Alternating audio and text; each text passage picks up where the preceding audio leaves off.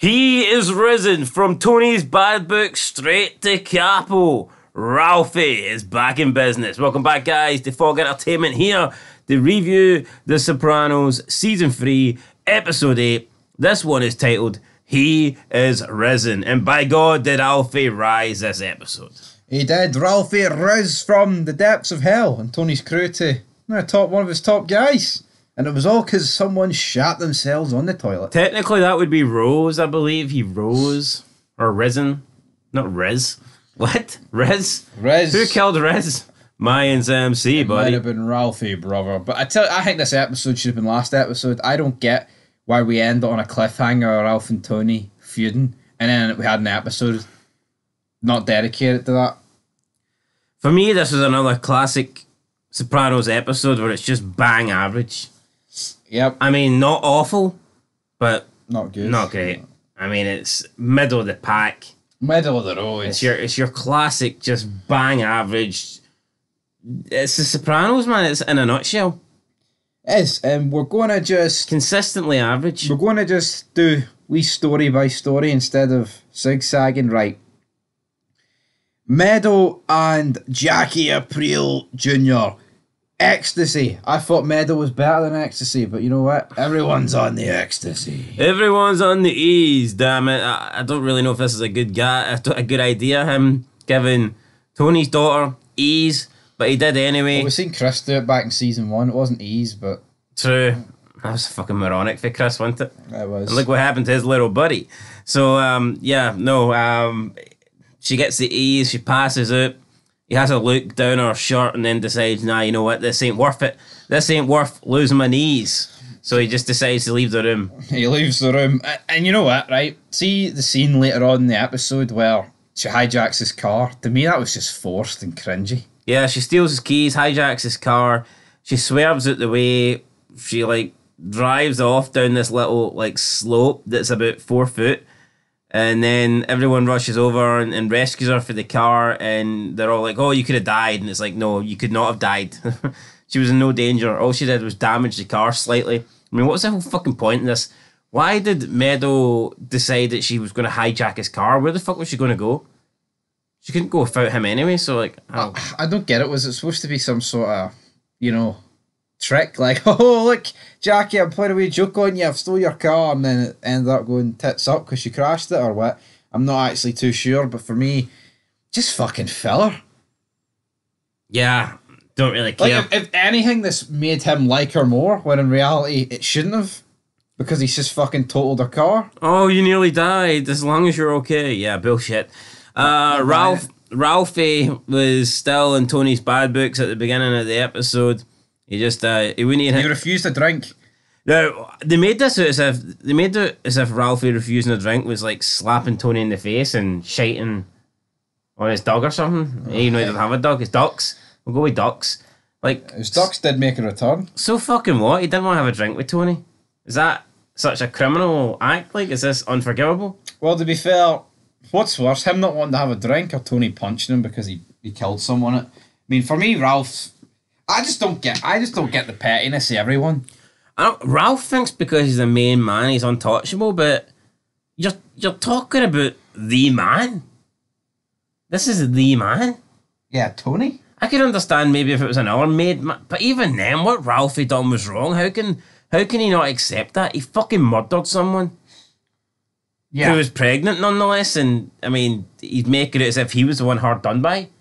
What? Because Tony came out and punched. I'm surprised that never got him killed on the spot. What he done? yeah, I don't get so. or or like kicked out the club or something. Um, so, or not the club, To- but you know, Tony's out- Tony's right hand, Silvio's telling Tony that he did wrong. You got it wrong, Tony. He actually says that you should apologize and maybe make him captain. What the fuck? See, that's why I just don't like this show. I mean, what Ralphie done was wrong, and like people should be sticking to that. But no one. Why is no one condemning what he done? I don't get it. But Tony's not exactly sticking to his guns either. He's not. He's not like you know what the prick deserved it. He's kind of like humming and hawing about it. He's like, uh, yeah, but aye. Paulie suggested whacking him. He's like, he's too much of a good earner, Paulie. So yeah, Tony's willing to let morals go out the window as long as the guy's a good earner. Yeah, Ralphie then says that if it was Tony's daughter or like um girl Niece. niece, Or Gumar, he'd understand. Yeah, well, no shit. I I mean, what does Ralphie? What's Ralphie talking about? Of course. So you trying to tell me if Ralphie done this to Meadow? I mean, Tony would let him breathe. It do- I- that doesn't make sense to me, that line. Like, it just does not make any sense whatsoever. Now, unless he was maybe talking in context of like he slapped Tracee a bit and left it at a couple of slaps and it was his daughter. He's talking about killing her, mate. Yeah, no, but is that not completely ludicrous? Ah, it's it's nonsense. Like, I mean, i- if he did this to Meadow, he's not able to have this conversation. And, and would he? If would he have been able to whip out the "I'm a made guy" line? I'm a made man. No, I'm a made you- no, you're dead, man. Um, so yeah, he has this conversation. His the new capo though, the guy that got the capo position instead of Ralphie, does an Elvis Presley. He dies on the toilet. Dies on the toilet. How the fuck did this happen? I don't know. Uh, I mean, it's plot purposes, isn't it? It's like, like a, a, any time Tony's hit with a difficult decision, something like this happens.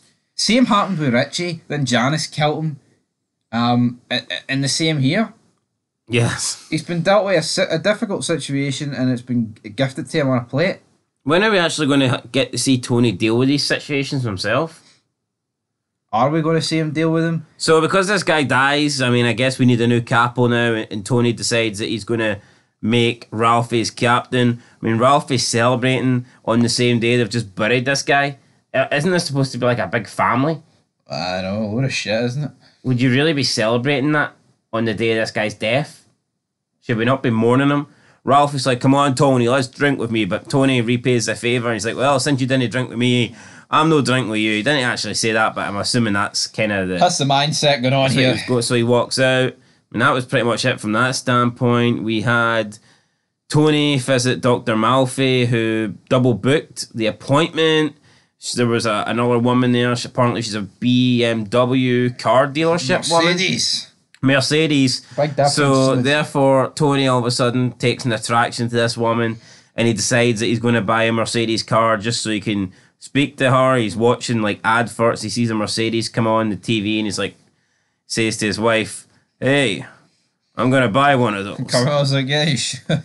Uh, yeah, just you go and waste two hundred pound just so you, two hundred grand just so you can fucking try and strike up a conversation with some woman in a skirt.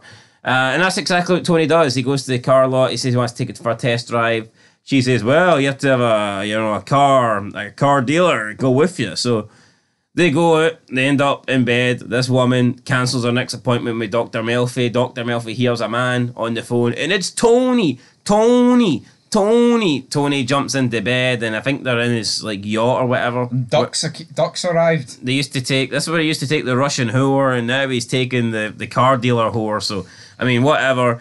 Uh, and then we see the the Mercedes parked outside on like the uh, the port. So I mean, Didn't really need to see that. We knew it was happening, to be honest. But that's it. and that was the end of that. I mean, anything else? What I would say is, what what are they doing with Junior? We got a brief scene with Artie, but then Ralphie came in, and Artie was told to basically. No, but what, what are they doing with Junior? This guy was so prominent in season one, and since then it's just been the old guy. I it's think- almost like you've been as well killing them all. Yeah, I think they should have just killed him along with his right hand man. I mean, like, why not? Like, what did? I just, it just doesn't make a lot of sense to me how Tony kind of just forgave Junior. Like, no repercussions, no nothing. Just no, that's it. You can still earn. You can still do this, and it's You can almost still earn. He's doing nothing. He's just sitting there. yeah. But you know, I think like Tony like almost co- he's completely forgiven Junior, but whereas he didn't forgive his mum. No, I, I get it. I think Junior's a lot more likable than Gloria. Gloria's a fucking arsehole.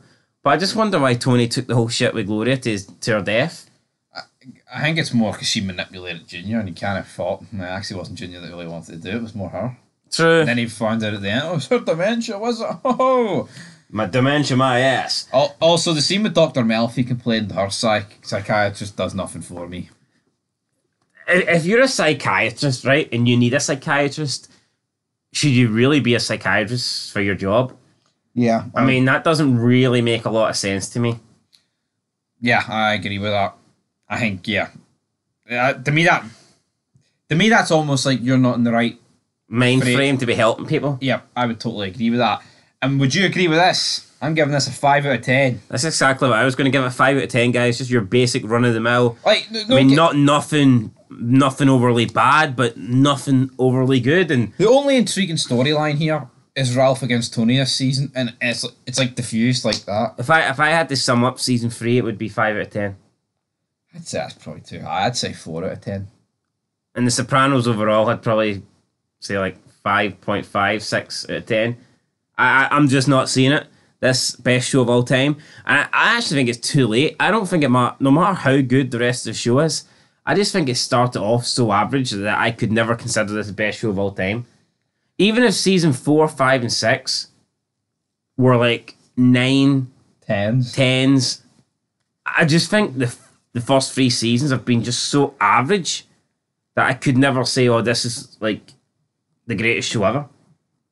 Yeah, me too. And what is the direction of season three? I'm not entirely sure. The whole thing is just Ralphie believing that he should have been a capo and he wasn't a capo. Other than like Ralphie, I mean, there's three things really going on, I believe, in, in season three. You've got Ralphie's beef with Tony, Tony looking out for April's son and just like Meadow getting up to like all sorts of shit at college, getting up to like drugs and the new boyfriend and all this crap. That seems to be the three things that they're focusing on. Everything else is irrelevant. I mean, you've got Paulie, Sylvie, and Silvio, and they're supposed to be what right hand men. They're supposed to be big characters, you know, important characters for Chris, Tony. this episode, And they never- sit in the couch. I mean, they, they never get any storylines of their own. Like, when do we ever see them venture off and have their own shit? We don't. Uh, your Italian guy that Tony brought over, I mean, he'll just dis- Furio. dis- he'll just disappear Yep. for episodes at a time. He will. Like, Wasn't in this one. I don't know.